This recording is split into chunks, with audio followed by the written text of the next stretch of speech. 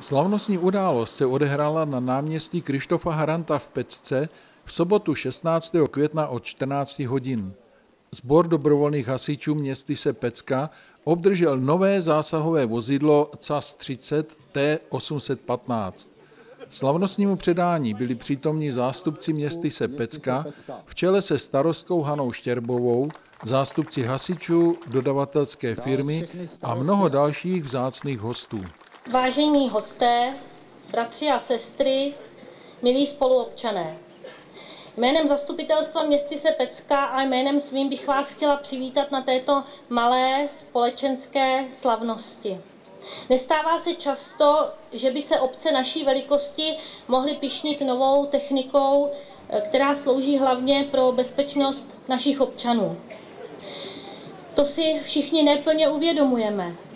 Jsem velice potěšena, že se naší obci podařilo získat dotaci od Královéhradeckého kraje ve výši 1 milionu korun a mohli jsme za něj pořídit eh, novou hasickou stříkačku Tatru 815. Kraj také daroval Volkswagen Transporter T5 4x4 určený na přestavbu pro výjezdovou jednotku a pro potřeby sboru dobrovolných hasičů.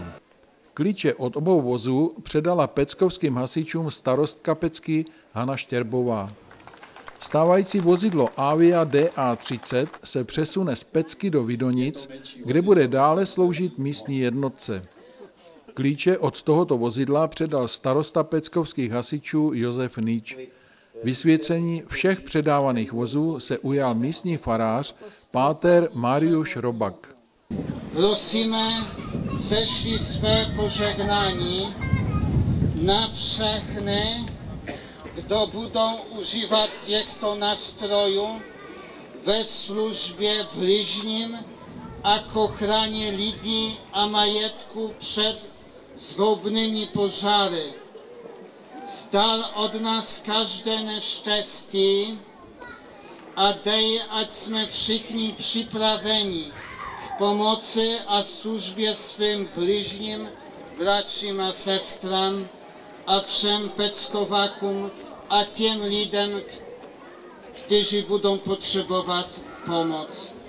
Prosimy o to skrze Chrysta naszego Pana.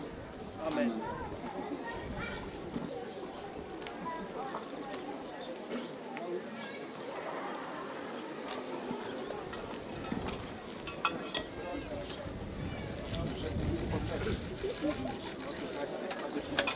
V závěrečné části programu nechyběla ani ukázka požárního útoku mladých hasičů.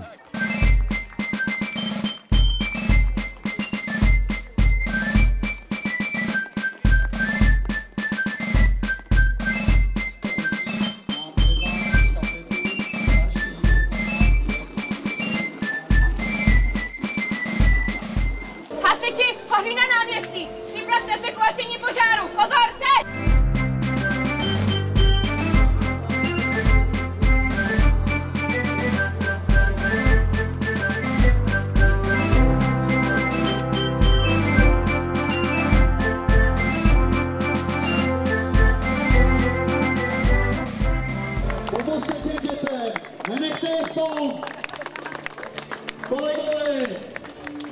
Na závěr si mohl každý prohlédnout vystavenou techniku, včetně nového zásahového vozidla, které dodala firma Kobit.